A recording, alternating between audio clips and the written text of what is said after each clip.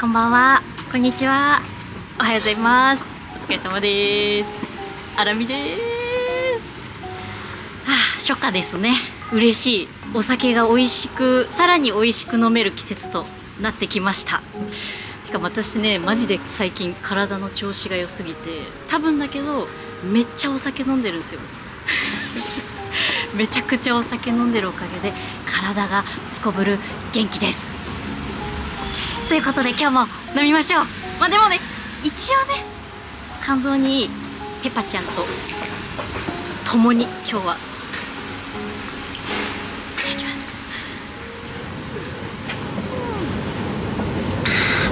今日はねいいお店来ましたよ。龍馬さん。龍馬さん。ではバイチャ日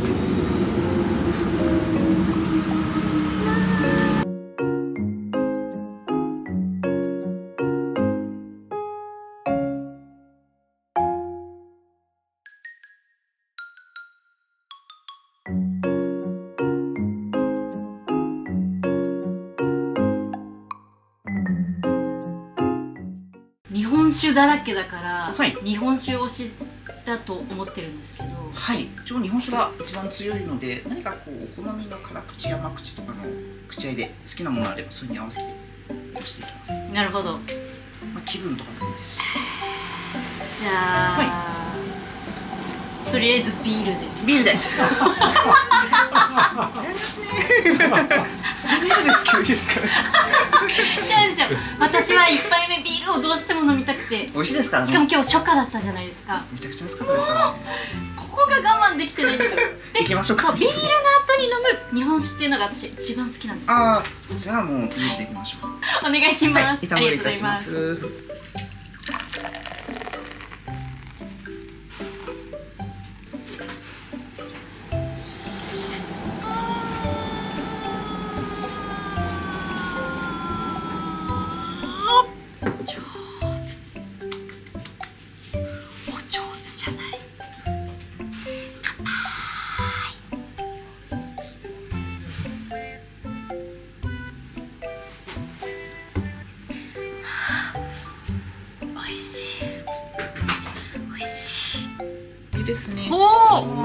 いぶりがっことクリームチーズお好みでしてください、こっちが浅いの佃煮でこっちが、えっと、豚肉のしぐれ煮です、ね、しくりにおほービールと合うと思いますありがとうございます。最高。いぶりがっこ。私めっちゃ好きなんだよね、いぶりがっこ。お店にあったら絶対頼む。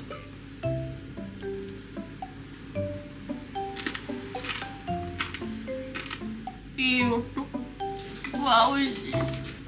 最高です。うん。このいぶりがっこのさ鼻からこう抜けてくる燻製のこれいいよね。わかるみんな。次はあさりのしぐれ煮。いただきます。2個いっちゃう。うん美味しい。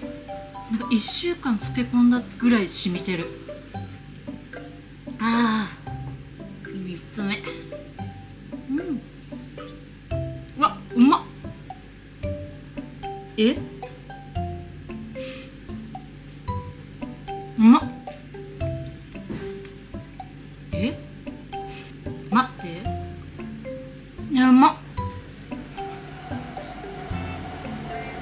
めっちゃ美味しいこれ。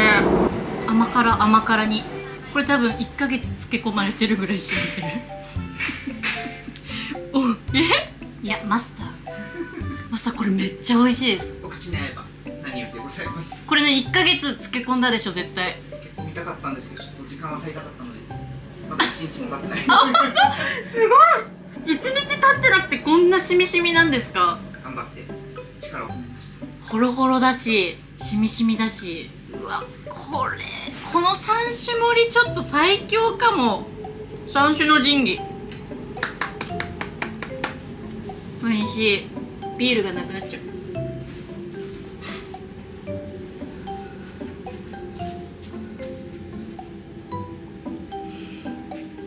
お疲れ様です。ピクルス来ました。め春爛漫彩りも春っぽくない？可愛らしい。こんなピクルスなんかもう女子受け抜群ですよ。でもちょっとお酒がなくなっちゃったんでよろしいですか、もちろんお伺いいたします。もうこのピクルスに合うなんかこう。日本酒を。はい。そうしました。酸味系なのでちょっと酸味があって、はい。えっと、さっぱり飲めるものが多分合うと思うので。あ酸味なピクルスには酸味がちょっとあってさっぱり飲める。日本酒が合う今回のやつだと合うと思いあますへえ。ちょっとそれに合うものじゃご用意いたしますので。はい。少々お待ちください。ありがとうございます。えなんだろう。めっちゃ楽しくない？これ何が来るんだろう？みたいな。何が出るかな？何が出るか。笑ってるね 何が出るかな？これなんだっけ？小堺のごきげんよ。う ごきげんようめっちゃ古いなめちゃくちゃ前のやつじゃん。つい最近のように感じてたわ。はい。じゃあお待たせいたしました。こちらの平泉のマルヒっていう山ハイのお酒ですね。あ丸。マルヒ火って飛ぶ。そうなんです。あ。マルヒで山ハイでちょっと酸味があるタイプの日本酒です。へえただ辛口よりというよりもこうすっきり飲めるタイプの日本酒なので、はい。こういうピクルス系とかとは抜群に相性がいいかなと。あらららよい。しょあらららららこちらで合わせてみてください。すごいこのラベルなんか春っぽいですね。そうなんです。ちょっと可愛らしい。ねもうそろそろ初夏も近いのでそんなイメージで作られてると思います確かに夏っぽさもあるのか。爽やかに飲めるタイプのありがとうございます。あ来た秋田。で。はい。秋田らしいちょっと透明感も少しあります。うーん。ぜひぜひと。お水もお持ちしますね、ありがとうございます。二杯目乾杯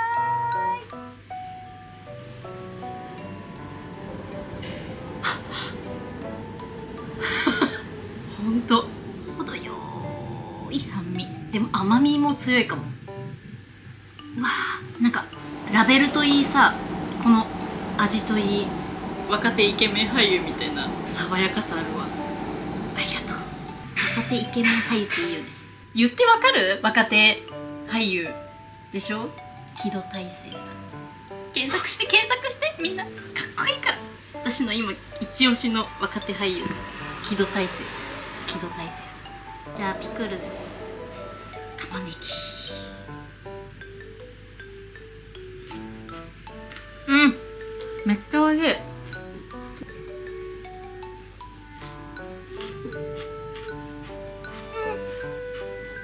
春春春。初夏初夏。わ玉ねぎこれ進む。うん。ピクルスの酸味加減もちょうどいい。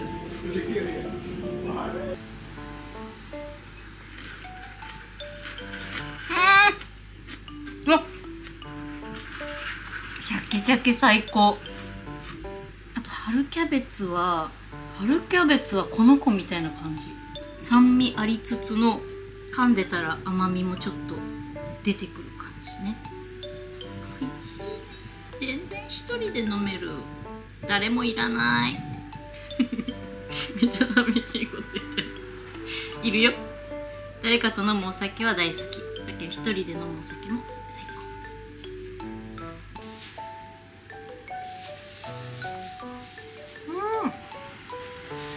ごちそうさまでした。なんか今日これ食べといた方がいいよっていうのはあります今日だと一応アサリの酒蒸しがおすすめであ。作ってますのでおそっちでも大丈夫かな。日本酒を飲んでるのであれば。じゃああさりの酒蒸しに合うはい。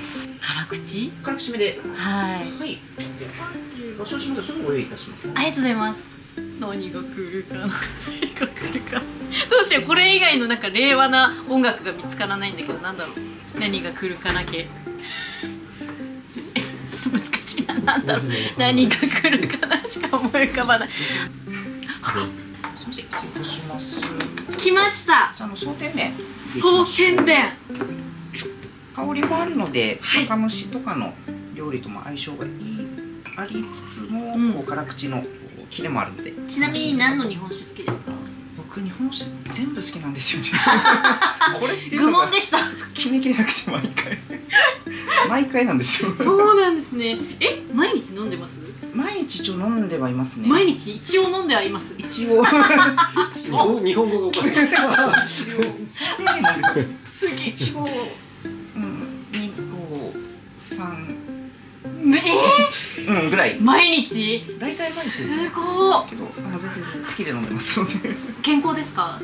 健康って信じてます。やっぱり飲んだ方が健康なんですよ絶対。まあそうですね。ね。肌荒れとかめちゃくちゃ少なくなった気がします。やっぱり？だってめっちゃツヤツヤだもん。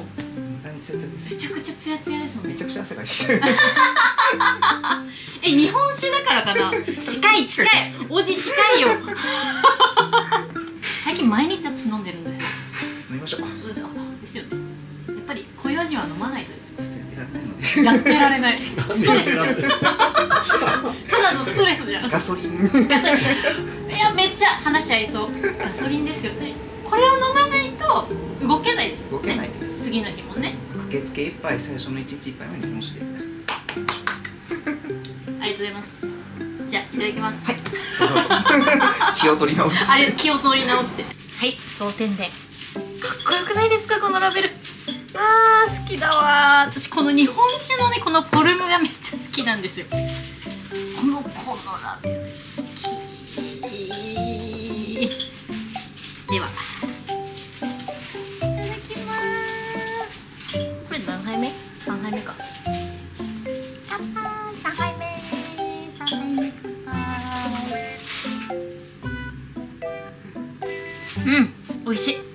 しぶりです蒼天殿この人は何度あってもやっぱり癖になるね。本当に癖になる。また会いたいって思う蒼天殿に蒼天殿の名前さメニューにあったらあ会えた会いたかったってなる。今日会えたからめっちゃ嬉しい。しかもなんかおすすめ聞いたら蒼天殿って聞いた瞬間にあやっぱり会う運命だったんだと思いますよね。ちょっと。っぱり私は藤木直人さんですかね。蒼天殿感ない？何歳になってもさ会いたいと思うし何歳になっても変わんないんですあの人のかっこよさって。多分405060これから70になってもあのかっこよさの渋さ？渋さのかっこよさ？ん？どっちかよくわかんないけど。渋さがついてもたとえ老けたとしてもかっこいい。マジ蒼天殿です。蒼天殿藤木。うん。会いたいわ藤木さん。小岩に来てください。酒蒸し来ました。酒蒸し来ました。酒蒸しイコール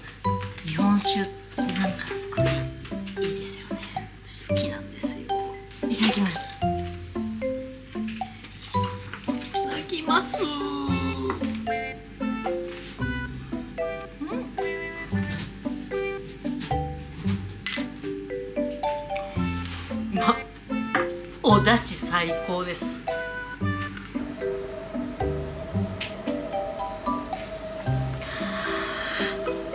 ばい。エンドレスエンドレス。あごめんなさい。肘強だ。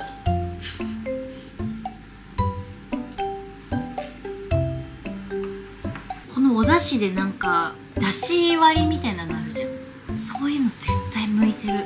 出汁だけ飲んでいいですか？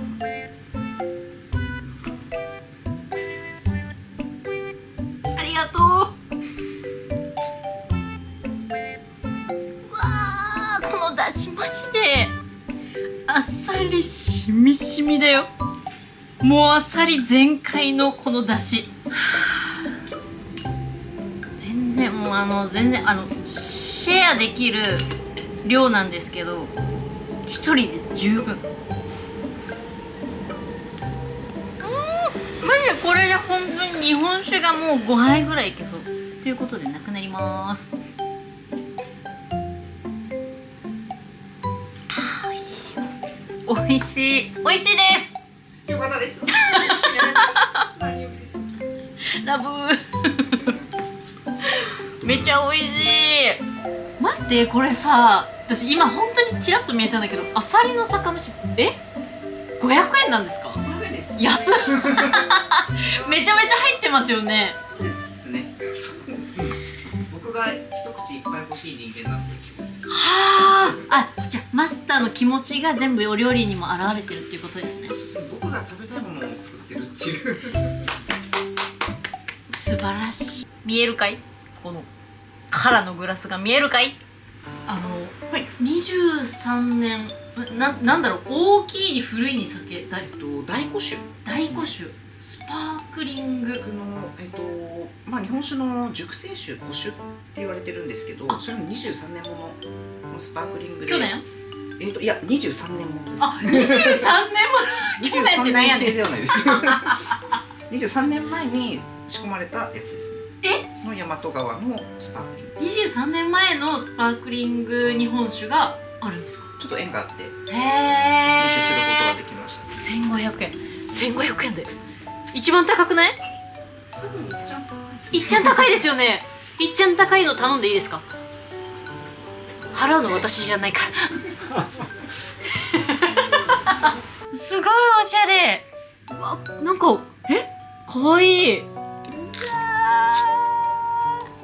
れはこうしてた方がいいんですか？こうしてた方がいいんですか？どうなんでしょうね。ね難しいですね日本酒だから。じゃあ普通にこうした方普が。な通でいいと思います。じゃあちょっと嬉しい。なんか想像と違う色合い。味自体も結構ライトな熟成酒で飲みやすい部類に入りますね。へえ。香りも楽しめるかなと思います。ありがとうございま失礼いたします。すおっしゃー。おっしゃーですね楽しんでください。ありがとうございます。えちなみにですけど、はい。毎日飲まれてるんでしょ？ほぼ毎日ですね。えそれ毎日どういう気分っていうかどういう気分でこう選ばれてる？の 同じこと言ってる鈴木奈々さんみたいな。ざっくりいくとお店にあるお酒のテイスティングですね。あの味の変化が毎日あるんで。あ日本酒も？そうですね。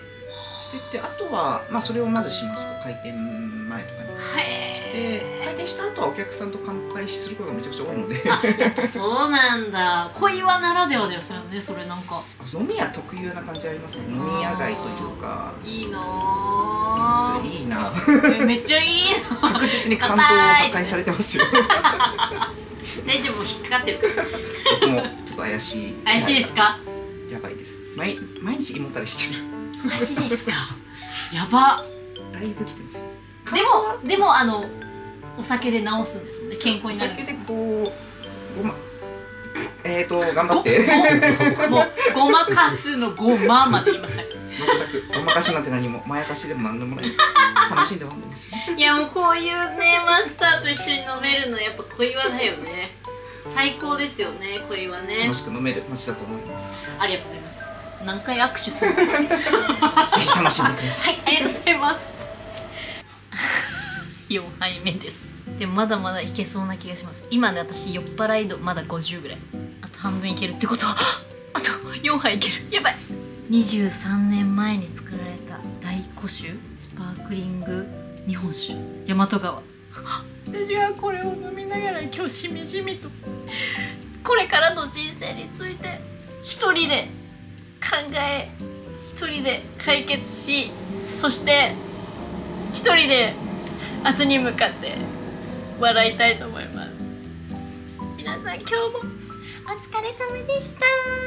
日本酒再開。イエーイ。イエーイ。バイバイ